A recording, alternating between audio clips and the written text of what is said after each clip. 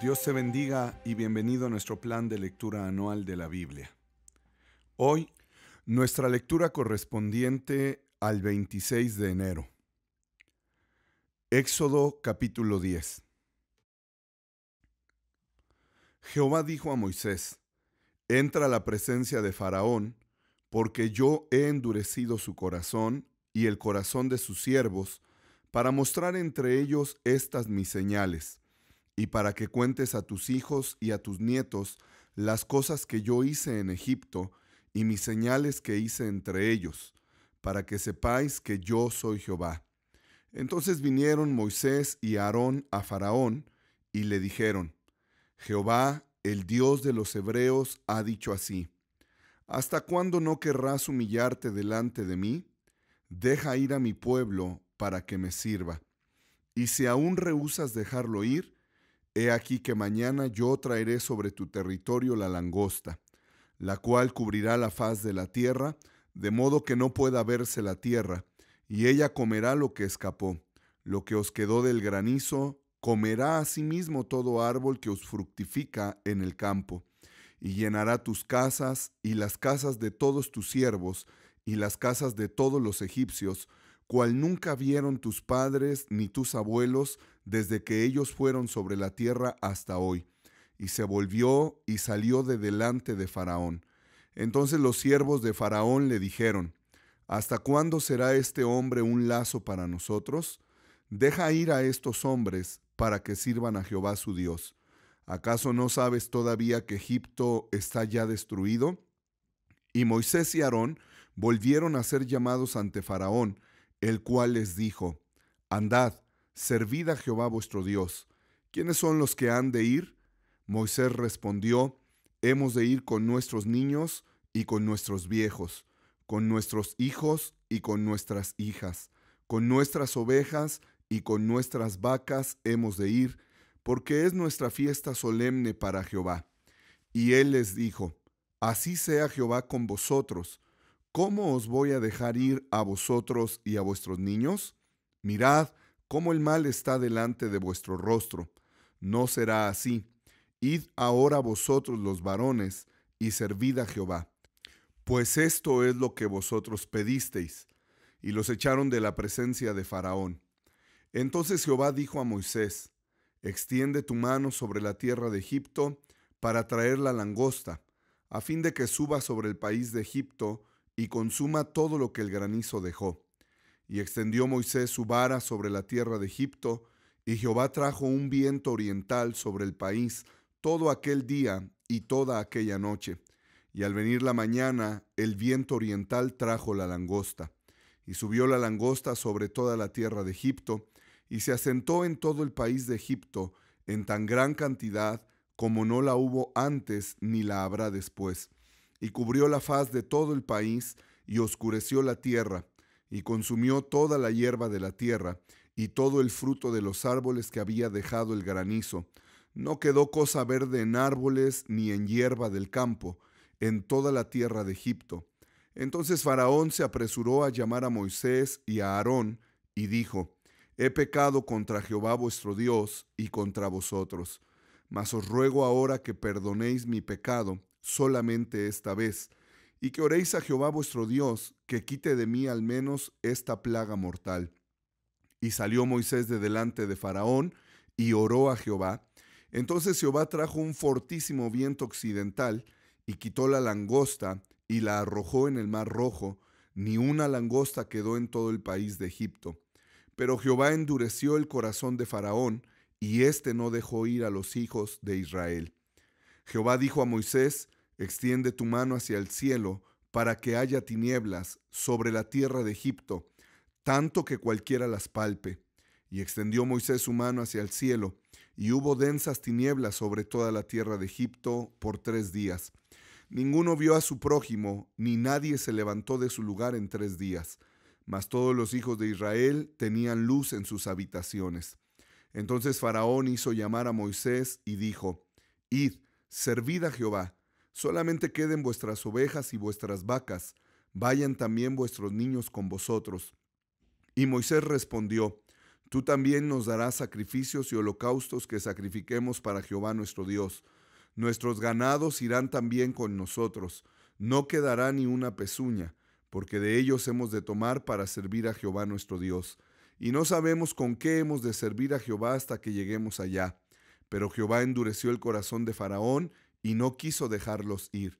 Y le dijo Faraón, retírate de mí, guárdate que no veas más mi rostro, porque en cualquier día que vieres mi rostro morirás. Y Moisés respondió, bien has dicho, no veré más tu rostro. Capítulo 11 Jehová dijo a Moisés, Una plaga traeré aún sobre Faraón y sobre Egipto, después de la cual él os dejará ir de aquí, y seguramente os echará de aquí del todo. Habla ahora al pueblo, y que cada uno pida a su vecino y cada una a su vecina alhajas de plata y de oro. Y Jehová dio gracia al pueblo en los ojos de los egipcios. También Moisés era tenido por gran varón en la tierra de Egipto, a los ojos de los siervos de Faraón y a los ojos del pueblo. Dijo pues Moisés, Jehová ha dicho así, a la medianoche yo saldré por en medio de Egipto, y morirá todo primogénito en tierra de Egipto, desde el primogénito de Faraón que se sienta en su trono, hasta el primogénito de la sierva que está tras el molino, y todo primogénito de las bestias. Y habrá gran clamor por toda la tierra de Egipto, cual nunca hubo ni jamás habrá. Pero contra todos los hijos de Israel, desde el hombre hasta la bestia, ni un perro moverá su lengua, para que sepáis que Jehová se diferencia entre los egipcios y los israelitas. Y descenderán a mí todos estos tus siervos, e inclinados delante de mí dirán, vete tú y todo el pueblo que está debajo de ti, y después de esto yo saldré. Y salió muy enojado de la presencia de Faraón, y Jehová dijo a Moisés, Faraón no os oirá, para que mis maravillas se multipliquen en la tierra de Egipto.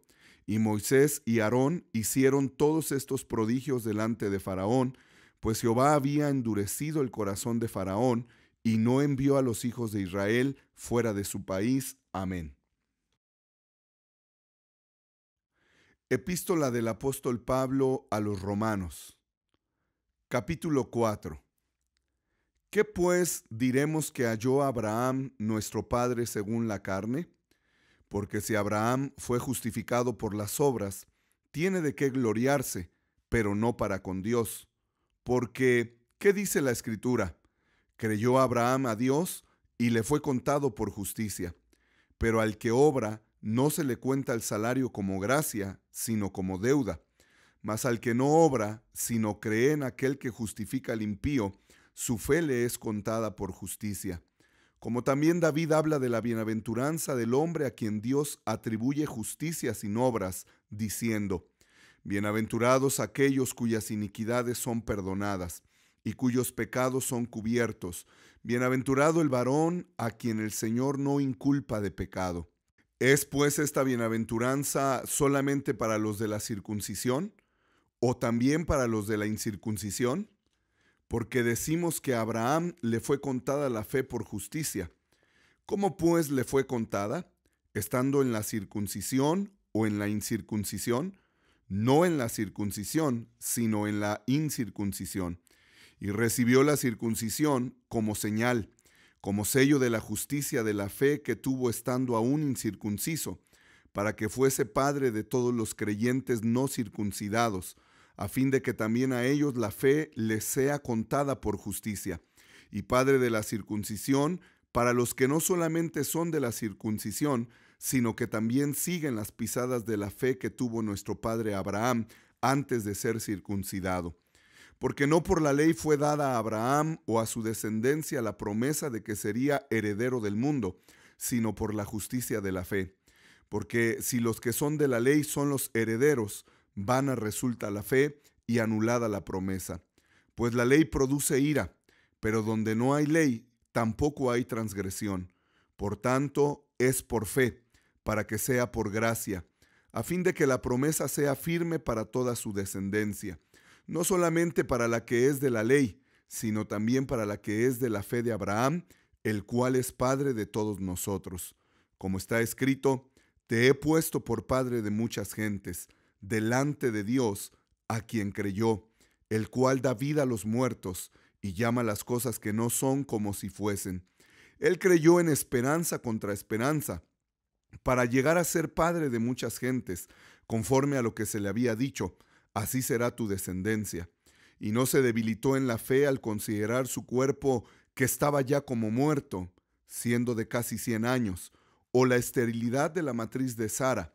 Tampoco dudó por incredulidad de la promesa de Dios, sino que se fortaleció en fe, dando gloria a Dios, plenamente convencido de que era también poderoso para hacer todo lo que había prometido, por lo cual también su fe le fue contada por justicia.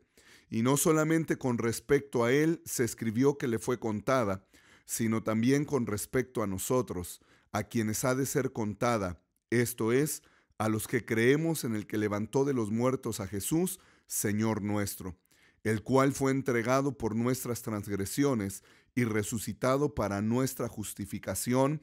Amén y amén. Señor Jesús, gracias por tu sacrificio, al cual continuamente, Señor, hacemos mención y miramos hacia tu sacrificio en la cruz del Calvario.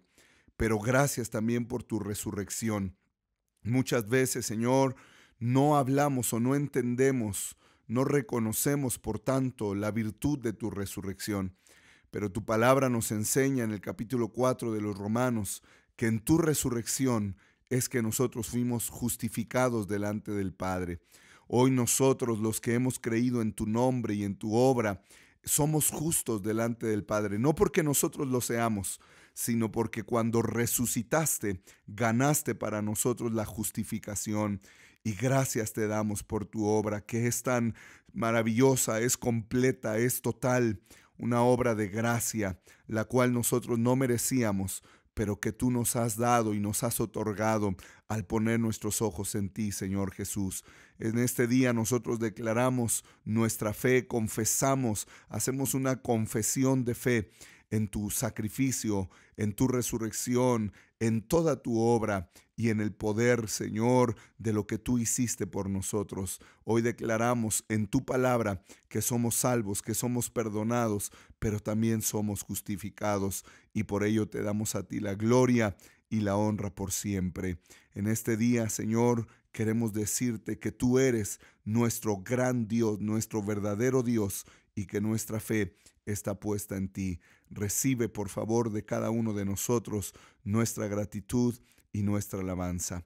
Padre, en este día te damos honor. Señor Jesucristo, te damos nuestro amor. Espíritu Santo, queremos pedirte que nos llenes y que tomes tu lugar en nuestro corazón, porque lo pedimos de todo corazón.